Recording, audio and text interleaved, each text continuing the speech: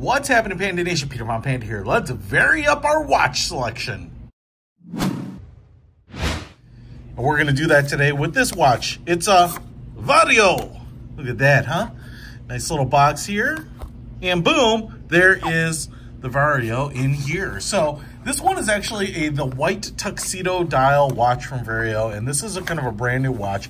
This is not my watch. This is actually on loan from Vario and uh, doing its internet tour here. So I don't get to keep it. This is just kind of a first look as this watch is getting released here soon. You can see here it comes with, at least in the setup here, and I don't know exactly how it come with in production, but it comes with like this kind of tweed red uh, strap here, slight taper, pretty nice spring bars in there, leather backing, suede-like backing, and uh, steel hardware on this end. So that should look very nice, especially with this tuxedo watch right there. That's kind of a nice, uh, nice little mix-up. And here is the uh, tuxedo dial silver hands black Italian leather strap watch, and it really has a beautiful classic look to it.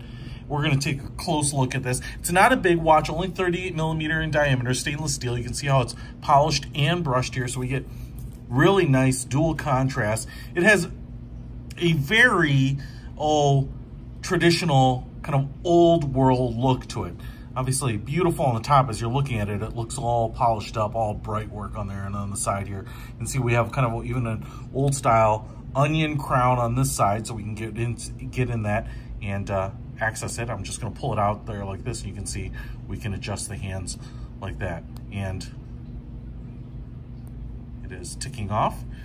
Uh, you can see here that this has uh, a sweeping second hand. So that might tell you that this sucker is a mechanical movement. And this is a hand wound Miyota 6T33 movement. Now, if I flip it over here, you're gonna get a little peek inside. You can see it's a Miyota movement there in Japan uh, labeled on it. Let me just take off this plastic off the box.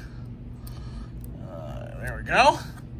And uh, nice look at that. All gold toned hardware in there. Really looks beautiful. 17 jewels, obviously. You can see the beating heart.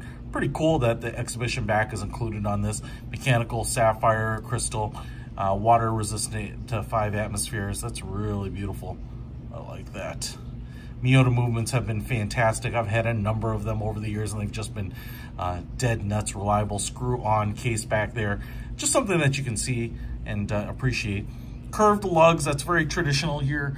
Um, in terms of the uh, strap thickness and lug width here, that's 20 millimeters, 11 millimeters thick. And again, it says sapphire on the back, so we have a flat sapphire crystal. I don't know about any anti-reflective.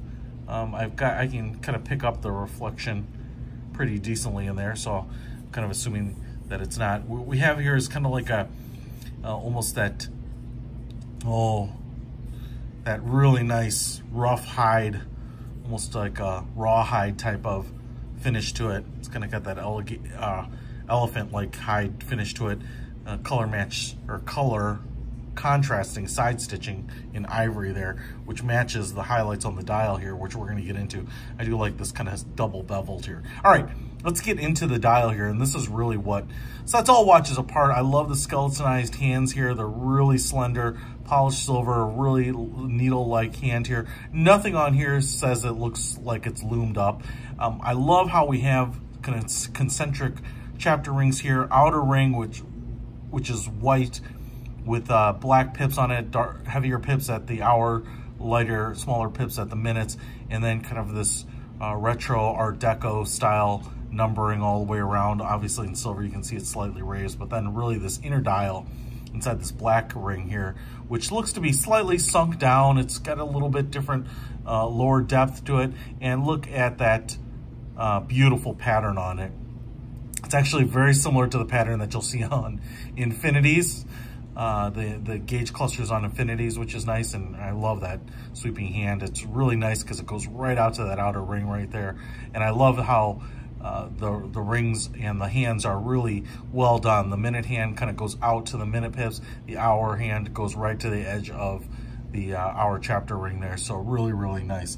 This is pretty sweet. Uh, again, I think you'll have your choice of the Italian vintage leather here or you'll have the tweed strap.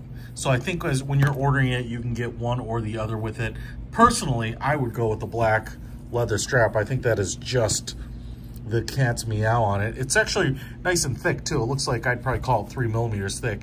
And I have a pretty big wrist, but I think you'll agree that I make this look good. Look at that.